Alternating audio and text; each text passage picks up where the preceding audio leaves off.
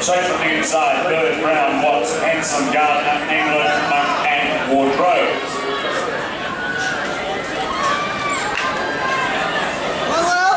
Very powerfully in this first 200 metres. Niche Upwell, remember that's Isabel, Isabella Watts. She's moved strongly through the field and has a commanding lead after 200 metres.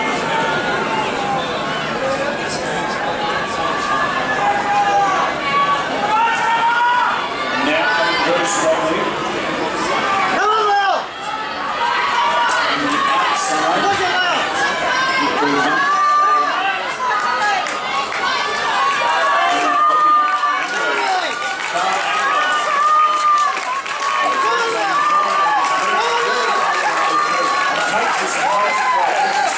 strongly.